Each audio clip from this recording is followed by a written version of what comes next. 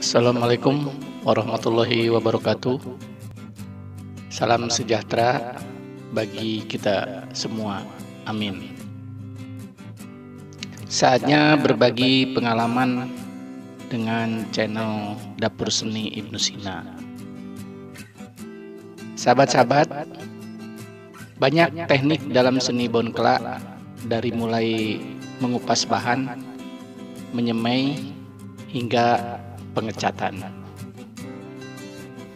Video ini salah satunya bagaimana menyemai bahan yang sudah dikupas, kemudian diikatkan kembali, lalu dimasukkan ke dalam inkubator.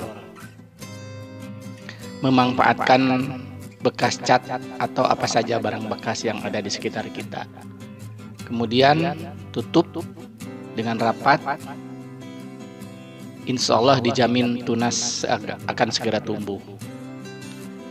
Mumpung akar masih pendek, segera bersihkan, amplas, langsung dicat agar terhindar dari retak, bahkan mungkin pecah batok.